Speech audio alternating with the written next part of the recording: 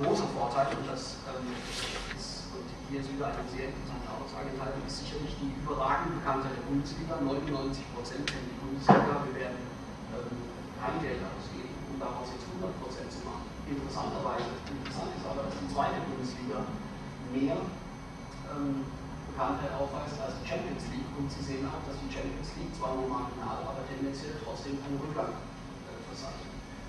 Hier kommt meines Erachtens etwas sehr Interessantes zum Ausdruck. Zum einen, warum, wie kann denn eine zweite Bundesliga attraktiver sein als eine Champions League? Ein ganz wesentlicher Aspekt ist äh, die große emotionale Involviertheit. Wenn Sie mal den Aufstiegskampf der letzten Jahre verfolgen oder äh, der, in der letzten Saison äh, den Abstiegskampf zwischen Kaiserslautern und Wolfsburg, dann wird dort nicht mehr oder weniger gefiebert, äh, geschrien, gelacht oder geweint, als wenn es um die Meisterschaft geht. Das heißt, die hohe persönliche und emotionale Involviertheit der Akteure äh, spielt da sicherlich eine sehr tragende Rolle. Zum Zweiten, ähm, die Champions League ist ebenfalls im Pay-TV verschwunden.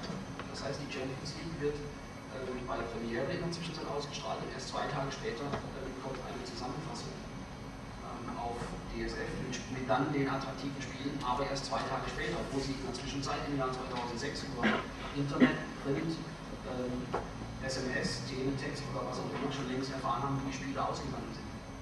Auch das trägt dazu bei, dass die Champions League hier sacht an Attraktivität verliert und das Bundesliga und selbst die zweite Bundesliga sehr viel stärker ähm, im Fokus stehen als selbst die Champions League. Der DFB-Pokal hat zunehmend an Renommee gewonnen.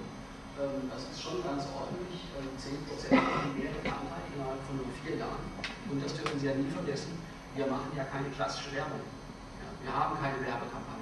Der DFB-Pokal hat ebenfalls keine Werbekampagne, weil das Produkt selbst ist die Werbung. Ähm, ich bin zum Glück in der positiven Ausgangssituation, dass die Bildzeitung sozusagen jeden Tag kostenfrei zwei Einzelseiten vierfarbig zur Verfügung stellt, um über unser Produkt zu berichten. Das kriegen Sie mit den wenigsten Produkten hin. Ich glaube, das einzige Produkt, das noch ähnlich in diese Richtung geht, ist vielleicht Überholen.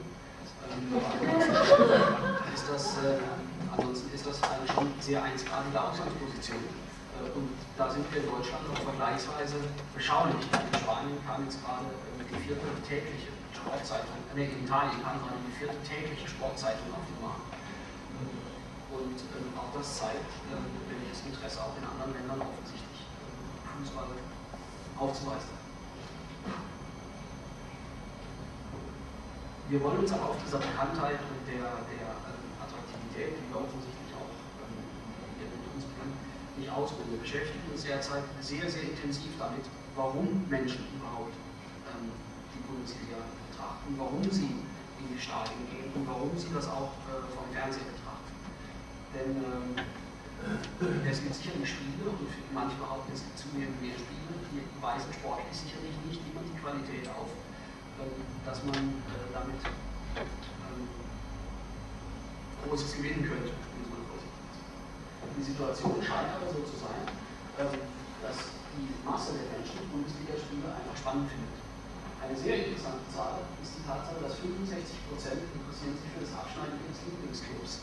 Wenn Sie eben aber sehen, sahen, dass ähm, 53% in Deutschland, also die Hälfte, interessiert sich für Fußball und das beziehen sich nur auf die Fußballinteressierten und nur 65 Prozent geben als Motivation an, ich interessiere mich für meinen Lieblingsclub, dann heißt das, und das ist eine sehr, sehr interessante Zahl, ähm, dass es augenscheinlich 35 Prozent ähm, gibt, die sich zwar nicht so sehr für einen konkreten Lieblingsclub interessieren, aber sich dennoch für Fußball interessieren.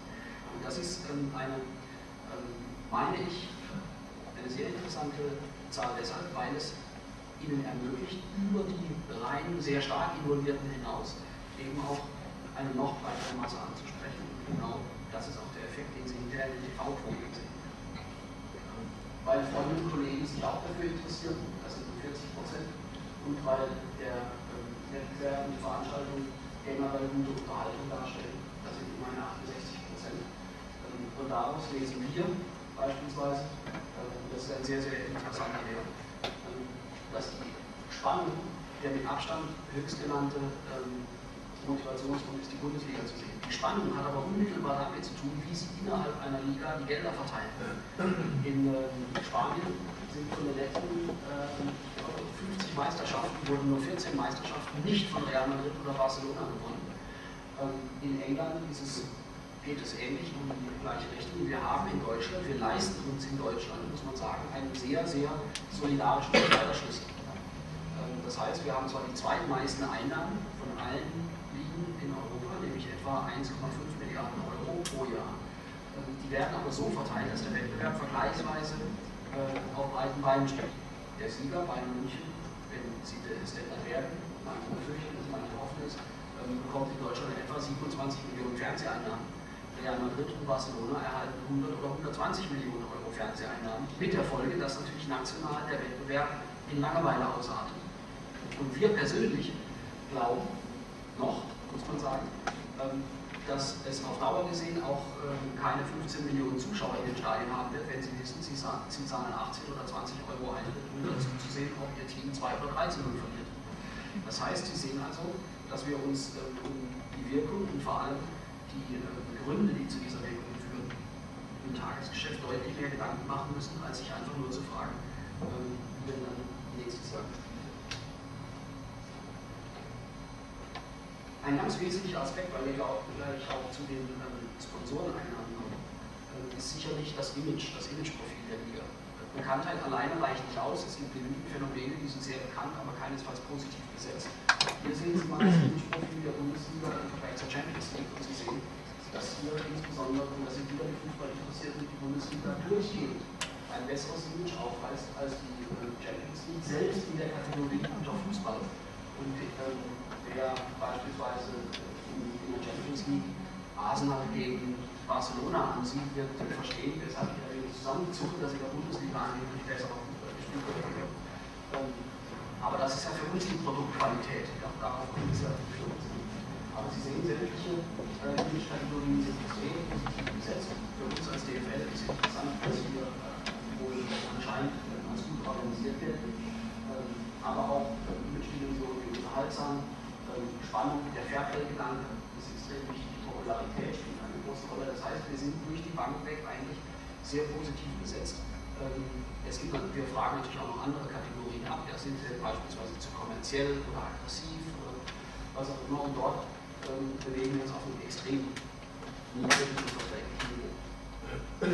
Und ich glaube, dass das auch der Grund ist, ähm, weshalb wir gleich die Summen sehen werden, die wir tatsächlich ein weiterer wesentlicher Aspekt äh, in Sachen Kommunikationswirkung und vielleicht auch der Hauptgrund, weshalb die ARD knapp 100 Millionen Euro pro Jahr bezahlt, um ähm, Fußballrechte halten, sind natürlich die TV-Einschaltquoten. Sie werden ermittelt über die FK, das muss ich eben Hier sehen Sie mal die Marktanteile in der Saison 2005-2006 im Schnitt. Ähm, Sie wissen, es gibt immer drei, äh, eigentlich zwei wesentliche Zielgruppen, nämlich die Zuschauer ab drei Jahre ähm, danach weist, weisen die öffentlich-rechtlichen aus, dann gibt es, warum auch immer, das soll man jetzt mal nicht diskutieren, ähm, die sogenannte Werbezielgruppe 14 bis 49 Jahre und im Bereich Fußball ist nur dieses Jahr kein Zufall, dass Sie permanent Reifenwerbung, Bierwerbung und Autowerbung sehen. Also in der Tendenz eher äh, jemandem so nahe zu treten, wie man so schön sagt, tendenziell männeraffine Produkte. Ähm, aber auch äh, Versicherungen beispielsweise, die ähm, traditionell eigentlich in Familiensituationen äh, eher sind, von denen man annimmt, dass der Mann die Kaufentscheidung äh, wie gesagt, ich möchte da niemandem nahtreten, das vielleicht auch zu überarbeiten, diese Einstellung ist aber nicht überhaupt. Aber Sie sehen hier natürlich die Marktanteil. Und dann sehen Sie, dass beispielsweise die ARD Sportschau im Schnitt 26% Marktanteil realisiert in der zielgefassten Reihe. Das heißt im Schnitt jeder vierte Zuschauer und im Schnitt heißt dann aber an 34 Spieltagen über die Saison verteilt.